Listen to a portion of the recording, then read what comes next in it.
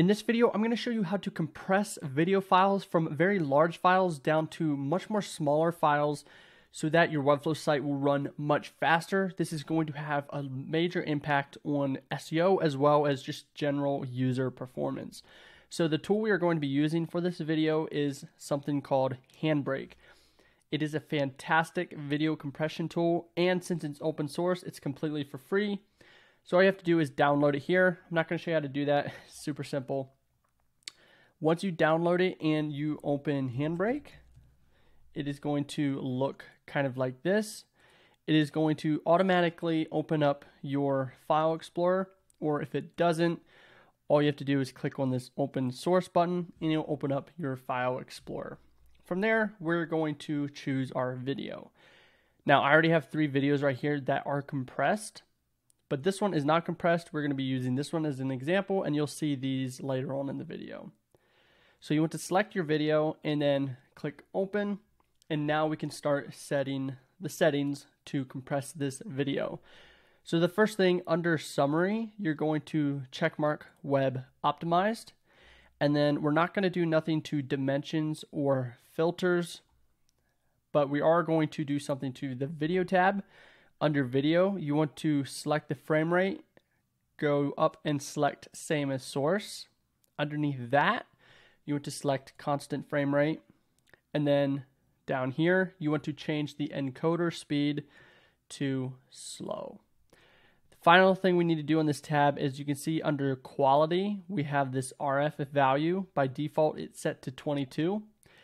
If you move it to the right, the file, the, the quality is going to increase, but the file size will get larger. Alternatively, if you drag it to the left, the file size will decrease, but so will the quality. Now, usually you can try to set it just to 23. Sometimes that is going to compress a lot of the video and it's going to look hardly, you can't hardly even tell any difference.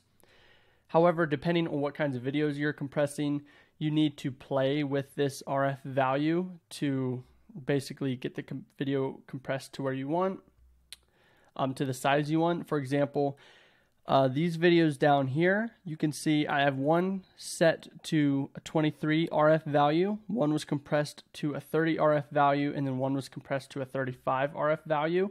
And I'm going to show these videos side by side in a little bit, and you can see kind of like the quality difference between my videos that I'm doing.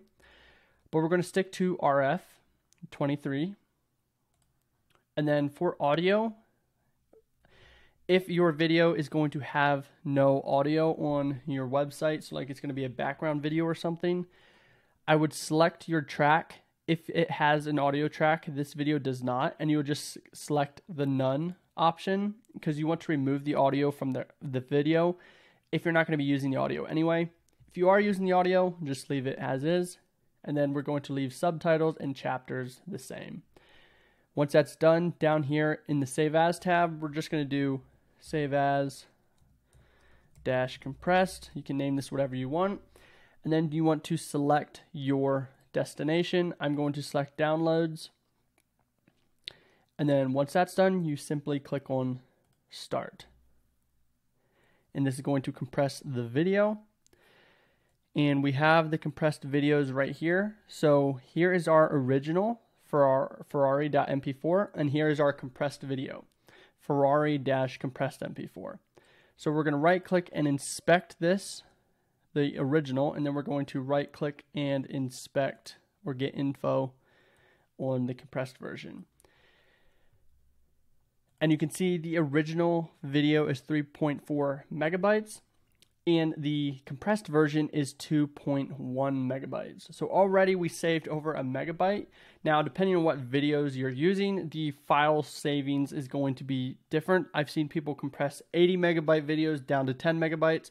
So it all depends on what type of video you're using.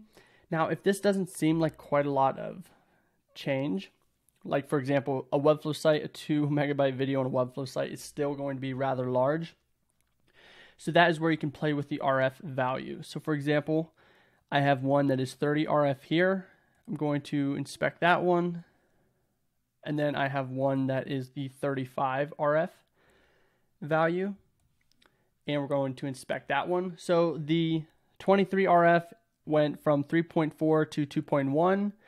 Uh, the 30 RF went to less than one megabyte, and then the 35 RF went from 3.5 or 4 megabytes all the way down to 578 um, kilobytes.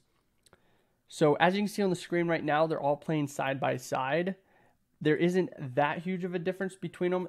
Around the 30, 35 RF on this specific video, you can start to see um, a little bit of a difference. However, depending on where you're using the video, um, you aren't going to be able to tell the difference. For example, on this test page that we built for this video, this is using the 35 RF video as the background, and most people wouldn't even know the difference. And you're saving a ton of file size. So that is how you compress your video using Handbrake. If you do need more help with Webflow, we offer Webflow consulting. You can all hop on one hour consulting call with myself and we'll answer any of your questions or walk you through how to use Webflow. Or alternatively, we do offer other services such as our unlimited Webflow design and development services, where on any given month for a flat fee, you can make unlimited requests to your website, unlimited revisions. There'll be more links to that in the description below.